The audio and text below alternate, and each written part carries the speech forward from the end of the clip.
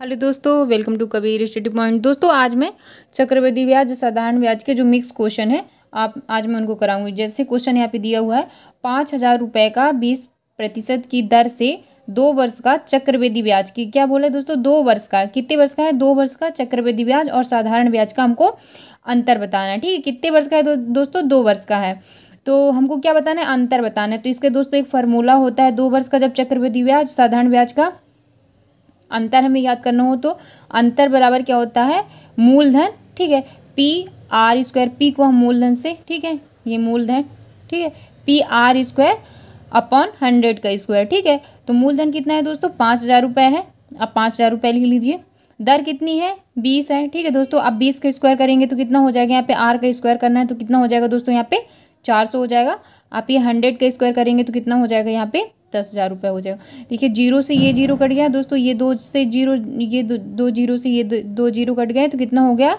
पचास में पचास का मल्टीप्लाई चार से करेंगे कितना हो जाएगा दोस्तों? चार पंचे बीस। ठीक है? दोस्तों इनका अंतर कितना आया? दो सौ रुपये। दोस्तों हमारा दोस्तों इसका आंसर हो जाएगा। ठीक है? अब दोस्तों नेक्स्ट क्वेश्चन देखती हूँ। जैसे यहाँ पे क्वेश्चन दिया हुआ है दोस्तों किसी किस धन पर यहाँ पे क्या क्वेश्चन दोस्तों पूछा है? किस धन पर। किस धन पर दस प्रतिशत की दर से तीन वर्ष का चक्रवृद्धि ब्याज और साधारण ब्याज का अंतर एक सौ पचपन रुपये है? अब इसमें दोस्तों धन पूछा है और कितने वर्ष का है दोस्तों? ती, तीन वर्ष का है और इसमें सेम वही क्वेश्चन है दोस्तों चक्रवृद्धि ब्याज और साधारण ब्याज का हमको दोस्तों अंतर बताना है ठीक है? तो इसका भी इसका एक दूसरा फार्मूला होता है दोस्तों अंतर ठीक है? दोस्तों हमको धन बताना है और अंतर इसमें दिया हुआ अंतर P R square upon hundred का स्क्वायर होता है। यहाँ पे गुणे हो जाएगा यहाँ पे सौ यहाँ पे तीन सौ हो जाएगा, तीन सौ प्लस आर अपॉन हंड्रेड हो जाएगा। ठीक है दोस्तों, अब इसमें बस अंतर ये दिया हुआ है एक सौ पचपन। ठीक है, आप एक सौ पचपन लिख लीजिए। अब पी मूलधन क्या हमको, मूलधन दोस्तों हमको ज्ञात करना है, ठीक है? आर कितना है दोस्तों? दस परसेंट है। तो आप दोस्तों क्या है, दस का स्क्वायर कर लीजिए। दस की स्क्वायर करेंगे दोस्तों, सौ आएगा, मैं सौ डायरेक्ट लिखे दे रही हूँ, ठीक है? यहाँ पे क्या है, तीन सौ प्लस आर है, तीन तीन सौ और आर कितना है दोस्तों? दस है। तो कितना हो जाएगा तीन सौ में? दस माइनस करेंगे, तीन सौ दस हो जाएगा। ठीक है दोस्तों, आप इसको खोलेंगे तो दस हज़ार हो जाएगा ये। ठीक है, यहाँ पे ये सौ हो जाएगा। अब देखिए दोस्तों, ये ज़ीरो से ये ज़ीरो कट गया, ये ज़ीरो से ये ज़ीरो कट गया। ठीक है, अब देखिए यहाँ पे पाँच एकम पाँच पाँच तेईस पंद्रह। दोस्तों, ये पाँच बार में एक सौ पचपन कट जाएगा। ठीक है तो यहाँ पे दोस्तों क्या बचा? यहाँ नीचे एक हज़ार बचा। तो हम इसका इधर साइड ऐसे मल्टीप्लाई होगा, पी का नीचे वाली संख्या से। तो यहाँ पे हम एक मानी ले रहे हैं तो पी बराबर कितना हो गया दोस्तों यहाँ पे? पाँच हज़ार रुपये दो ज़ीरो इसके, एक ज़ीरो इसके दोस्तों, पाँच हज़ार दोस्तों इसका आंसर हो जाएगा, ठीक है? और एक दोस्तों क्वेश्चन देखती हूँ।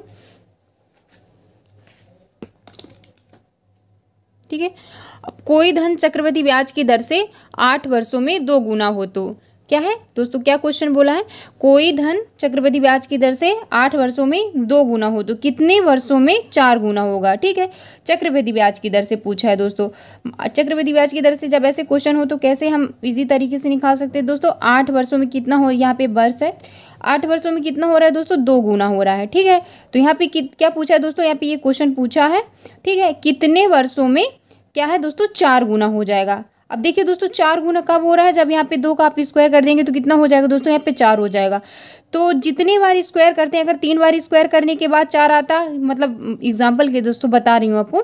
मान लीजिए यहाँ पे आठ होता तो आप दो का तीन बार तीन बार स्क्वायर करते तो आप इसका तीन तीन में गुड़ा कर देते। पर दो का, दो बार स्क्वायर करने पर चार आ रहा है तो आप इसका दो से इधर साइड मल्टीप्लाई कर दीजिए। आठ दूनी सोलह दोस्तों। तो क्या हो जाएगा?